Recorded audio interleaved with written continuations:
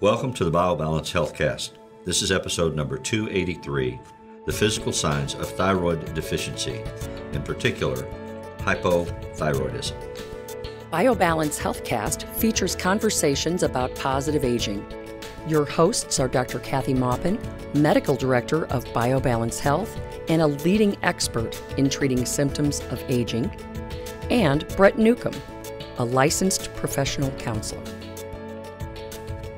Dr. Maupin and Brett are the authors of The Secret Female Hormone, the seminal work about hormone replacement therapy for women, which is available on Amazon or from Dr. Maupin's office at BioBalance Health. Dr. Maupin's office is currently accepting new patients. Today, we're continuing a conversation, a series of conversations that we have begun about the importance of information regarding hormone deficiencies. And in our last podcast, we talked about human growth hormone and when you develop those deficiencies, what that looks like and what that does. This week, we're going to talk about the thyroid hormone. And when you have a thyroid deficiency, how would you recognize it? Why does it matter? What should you do? That's right. So that's a, thyroid deficiency is one of the things that I can see across the room. And unfortunately, You mean if somebody has a goiter? yeah. So, so if you have a, a, a goiter, your thyroid sits right here above these bones. And if you have a thickness right here, it's most likely your thyroid gland that's pushing your skin out. It kind of looks like you've got like a muffler on, but, or it can actually look round and stick way out if it's severe. But a goiter is the thyroid gland struggling to make enough thyroid, or it could be alternatively, if that's all you see, it could be a hyperactive thyroid gland that is, that's a whole different subject. That's high thyroid. We're talking about low thyroid. I've seen goiters as small as a golf ball and as large as a softball. I mean, they just swell up. Yeah, and and really before it gets there, you should be seeing a doctor and having something done about it. But but I can see it when it starts and it's subtle. And I usually look at most of my patients and make them like pull their turtleneck down or something so I can see that. Mm-hmm. But also I look at other things when I go out to the waiting room and I shake their hand. If their hand's freezing cold, the thyroid runs your furnace inside your body. So the thyroid makes you warm or cold. And I say, Are you always cold? I'm always cold, no matter if they're thin or, thin or fat or normal. They're always cold mm-hmm. when they have hypothyroidism. And then I look at their face, and oftentimes I have to look past the makeup. But oftentimes people who have thyroid have half an eyebrow, mm-hmm. the inner half. The, the arc from the inside of the eye to the midpoint Yeah. still has an eyebrow. Still has an eyebrow, and then there's nothing out not. there. Yeah. So when I see that, there is nothing else that's very specific. There's nothing else that will make that happen unless you just burned your eyebrow off or you Or had some kind of trauma. yeah. But but there's nothing else besides low thyroid that's going to give you half a thyroid, half an eyebrow, and then when you get your thyroid back, when you replace it uh, and get it to normal, that grows back. It's amazing. So uh, usually thyroid does not affect your eyelashes, but it does affect your hair in that um, I have light walls uh, in my office, so I can see these little pieces of hair that are all kind of broken off and sticking out, kind of Like frizzy. split ends, frizzy. Right. And that's, and somebody who has that plus overall thinning hair, or they say that hair comes out in bunches, uh, not just for a week, but like for months and months on end, and their hair's gotten thinner and won't grow because it breaks off. That's another sign that's very specific to hypothyroidism. It doesn't come out in patches, it comes out all over. Okay. there's no not in the front not on the sides everywhere is where low thyroid causes your hair to um, thin and break off. But then we look at the fingernails and they're not it's not about ridges this time like it was with growth hormone. It's about broken fingernails that just that just that They're brittle and they just- brittle and they they kind of uh, peel off. Now I have to say that many women have fake nails if this happens, so I can't just look at them. Right. Many women have their eyes tattooed to take, you know, so that So it's they not can. from doing drudgery and housework. no, no, it's not that kind of. It's not That kind of that kind abuse. of brittle, but uh-huh. I mean, obviously, that could do something to your nails as well. However, in this circumstance, if you see the the broken hair, the thin hair, the lack of eyebrows, and there's some other things that are really interesting. Usually, people who have uh, hypothyroidism are swollen. Like their ring, I look at their rings, puffy? really puffy. Their rings, you know, basically are are swollen to their Like hand. a fluid buildup under the skin. Right. Okay. Because without thyroid, you can't get this. You can't get the fluid back into the bloodstream, so you can pee it out. So you just retain all this fluid. So their faces look kind of swollen here. They usually have gained a lot of weight and they can't get it off. They're tired, fatigued, and they look fatigued. They look just kind of, you know, they have the, they have kind of circles under their eyes, not bags necessarily, but circles. Or they can have swelling all around their eyes. But this sort of thing starts to occur when in age. I mean, Well- because how would a woman know? You know, I'm not just retaining water. It's about that time. Well, if it comes and goes every month, then Then you know, then right, that whether has to it's do with that has to do with the cycle. But but we ha- we see a bump in low thyroid at the time where women are developing breasts. Okay. So 12 to 16. And we see another bump in women who are post pregnancy. Okay, so that so we sometimes we come out of a pregnancy and no thyroid and we feel terrible and that can be part of postpartum depression, but that's not the source generally. And then we see another um, large group, another blip in the uh, incidence of this at right premenopause between when testosterone's gone and at our 40s and 50 when we're menopausal. So right in that area, Right. we see a lot of people get hypothyroidism. Okay. So this is it's very difficult without lab work to tell, except for the eyebrow thing, whether they're describing low testosterone, low thyroid, uh, hypoactive cortisol. I mean, there's many different hormones that can be, be. causing most of these symptoms, except for the eyebrows and except for the pattern of hair loss. So when I go through all my symptoms, I'm really specifically looking for certain things that tell me about their thyroid, but I also look at their lab. If they have all of those signs and their lab's normal, Well, I know that I still treat them. when years ago when we first began to work together, know one another, you met my wife, and one of the first things that you said after a conversation with her, and it's social conversation, but Kathy's always on, so uh, you said, "I want to check out your thyroid because the way you look and the things that you're telling me, I think there's a problem." And her regular physician had not ever suggested that as a concern. Yeah, well, and then you did blood tests to. Mm-hmm. to uh, validate your assumptions, and you were dead on. And so she needed uh, a thyroid medication, which is a really simple way to treat simple this problem, and usually pretty inexpensive. and very actually, yeah. so this is comparatively to three or four other drugs that we're going to have to be used to antidepressant and a bunch of other things that are expensive. The other thing we see on lab, which isn't something you would see like looking at somebody, but high cholesterol is a very common uh, problem when the thyroid's when the balance. thyroid's low. Okay. So usually when we treat thyroid, we could if you're on uh, statins, you get your you get your thy- you get your thyroid your your cholesterol goes down and you don't really need the statins often. So it's not it doesn't fix triglycerides but it fixes the cholesterol. So that's something that I see, but I've got all this information, so I have an advantage. Right. I'm looking at my patient I'm looking at their lab and I have their history of symptoms. So I've got it all together right in front of me so I can make a quicker assessment. But if you're living with someone, they're fatigued, they can't get out of bed, they're swollen, they're, oh, and constipated, they have no eyebrows, their hair's breaking off, their nails are breaking off, they are so swollen they can't get rings on and off. Um, they usually are distended because they're filled with poop. They're constipated and they can't lose weight. Their hands are cold and they're freezing all the time. They need their thyroid checked. And it, even if their thyroid comes back normal, because the test is not perfect, in fact, it's very imperfect, I would still try them on thyroid and see if it wipes out all the symptoms. So this is one of those situations then where the blood tests alone can't be the determinant. I mean, you have to use your medical judgment, Right. and and oftentimes you you get in a situation where you say, well, you know what, let's try this for a month and see if you feel any different. Mm-hmm. Because if you do, then it's helping you. And if. If you those don't, symptoms then went we away. To, yeah.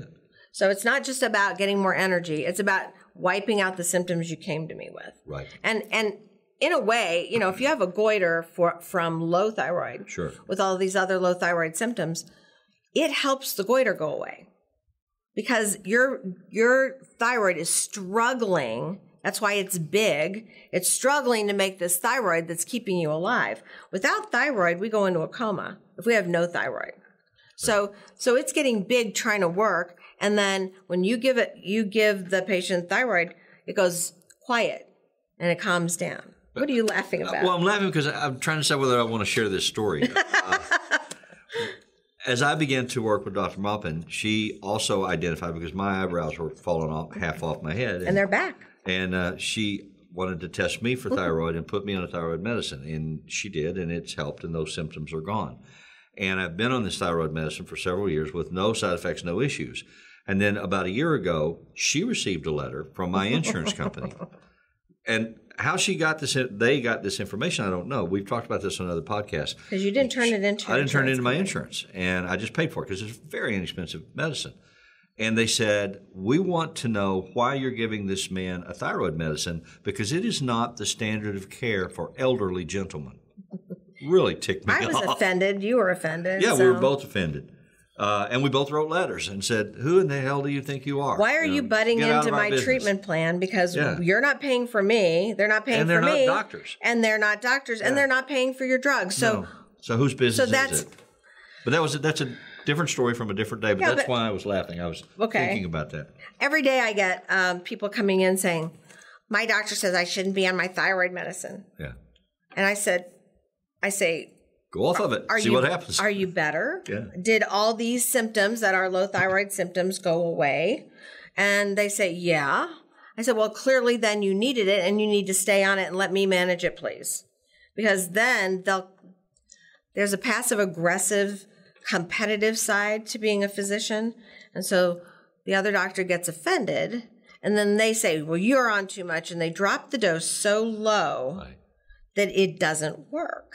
So that's not acceptable either. I mean, but that's a game that people that Sure. physicians tend to play. And so if you're being managed by somebody who understands that thyroid shouldn't be just the lowest level that anybody's ever taken because that doesn't work. It turns that turns your own thyroid off and Which doesn't it, exacerbates it, makes yeah, it worse. it makes it worse and then doesn't give you back enough to actually function.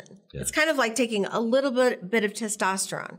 A little bit of testosterone shuts down your FSH and LH to your testicles and then you aren't getting enough from a little bit and you're not making any. There's no it's it's a it's basically you're on it or you're off it and it has to take over for the for the body. and, and that's so frustrating because it's such a judgment call, at least in the beginning, Mm-hmm. until you see whether or not the symptoms are alleviated. Mm-hmm. And so It's not dangerous. There are many physicians who are not willing to take a look at that, Mm-hmm. and because it, there- it's not in the book. It's not in the Not in the book that the test isn't right Yeah, most of the or often. right. Or that the norms are not right, especially for women. But we're dealing with obesity often, Right. and obesity can be secondary to a low thyroid. And obesity is so common and high cholesterol is so common. We should be checking the thyroid because that causes obesity and it causes high high cholesterol. Before we start putting people on other types of drugs, we should start with this and maybe they need something else. But this this would solve a lot of those problems in a very inexpensive and very physiologically normal way. I'm just giving back a hormone that they're missing. I'm not Right. giving them a bunch of other things. Right. So that's in very An natural. amount that for that individual alleviates their symptoms, not a standard uh, computerized determined amount. That's true. and we adjust it after we, you know, we give you the thyroid, then we adjust it. I either adjust it by your body temperature, depending on if your lab tests were normal to begin with and you have symptoms and I need to figure out your dose, I can't use the lab. So I have you take basal body temperatures, which are temperatures first thing in the morning before you get out of bed or oral temperatures. And it should Some be of you have experience with that with trying to get pregnant. right. Yeah, I did that hit for that years. magic window. Yeah, but that's that's not what this is for. Yeah. This is to see if your dose of thyroid is normal. So you check it before you take your thyroid. You take your you take your temperature, and if it's under ninety seven nine, as a female, ninety eight of as a male, then your thyroid's low. Okay, so then we can up it by a small amount. Right. So we do that on a weekly basis till we come up with the right dose. Right. And generally, if you're following the temperature, you're not going to get too much. So that's a, a good way to look at it. Also, I don't know if we always talk about high blood pressure. I don't know if you've heard this, but low blood pressure plus a low pulse, which are rarely seen together, are a sign of hypothyroidism. Or Is that why they report being cold all the time? Because they have low blood pressure? They're cold because their cells aren't making energy. Without thyroid, they're So not just the burning. furnace itself they're not, not burning on. calories. It's like um, having a furnace and having all of the coal stacked outside. Oh, my furnace has been winterized. Yeah, well, different Yeah. kind, different. I mean, I'm talking about like my grandparents, but whatever wood is just Yeah, stacked sure. up, and then the furnace has nothing to burn, so you're not Nobody's warm. putting it in it. So your cells aren't aren't burning calories to make Right. energy and heat. It's just all of that is going all that sugar blood sugar is going around and making and making fat. Hmm. So that's that's the. Trying to keep you warm. problem. Yeah. Well, it's making fat because it has nowhere to go with your blood sugar. Yeah. So it just insulates you. In in the end, you're insulated, but you're still cold. Yes. So that doesn't help. Right. So that's why I try to replace it. I mean, I think this is pretty basic. In the old, I'm old enough to know that in the days before lab being lab was easy to get, it took weeks to get lab back, and I mean that in the dark ages in the 70s, um, we would see somebody had high cholesterol, and we would give them thyroid if they looked like just by the signs. We'd give them thyroid. And then if they felt better and they lost weight and their cholesterol came down, that was our diagnosis.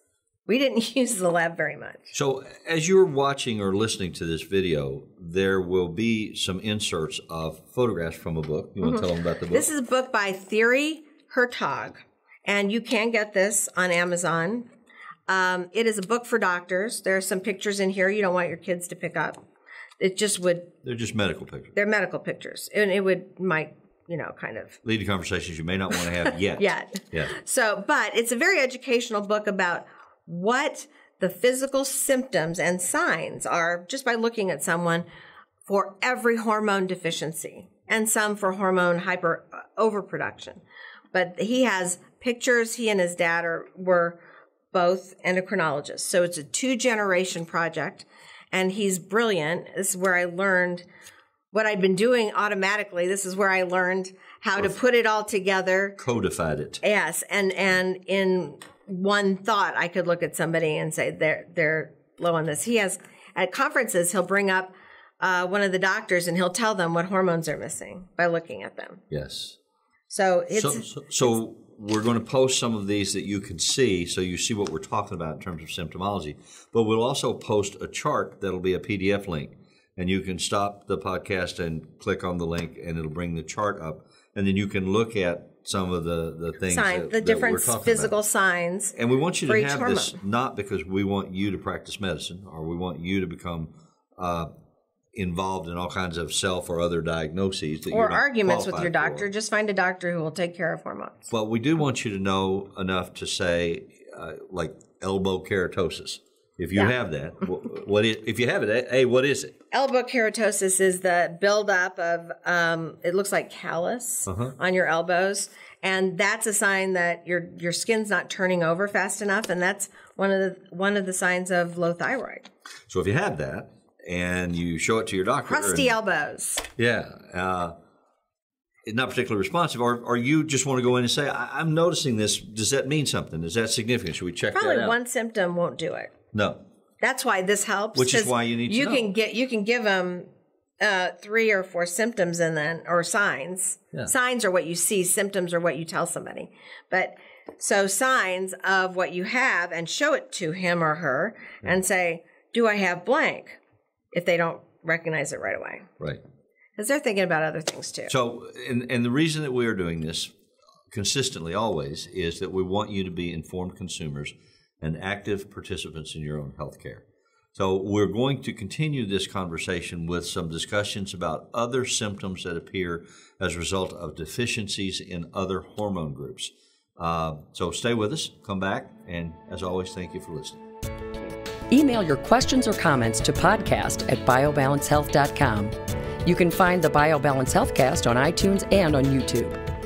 For more information about bioidentical hormone pellet therapy and other reverse aging solutions, visit biobalancehealth.com or call 314 993 0963. You can find Dr. Maupin on Twitter at Dr. Kathy Maupin and on Facebook at facebook.com slash biobalancehealth. Find Brett Newcomb at brettnewcomb.com.